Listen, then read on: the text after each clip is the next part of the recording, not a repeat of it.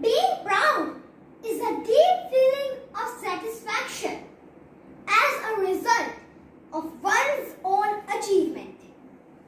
Nothing is more rewarding than when people who love you take pride in something you did. This is the strongest boost given by family and friends. Good morning respected judges. I Gandhi from Reliance Foundation School, Surat. They say when you look into your mother's eyes and they are proud, then you become a champion. I also wanted to see that proud feeling in my mother's eyes. So, I donated my old clothes to poor families in this COVID times.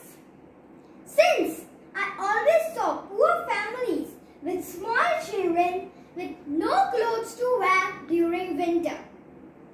It was a small gesture of mine, but I was proud of it.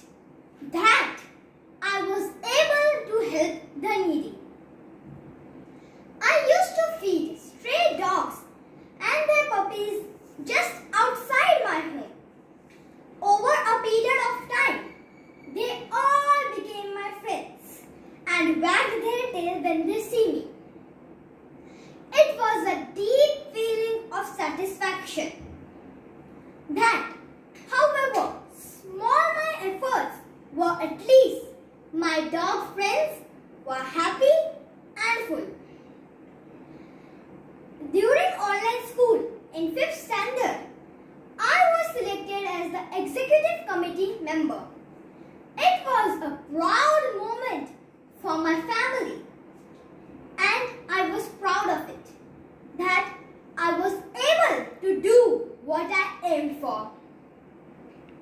They say you should take a moment to reflect yourself and how far you have come and be proud of it.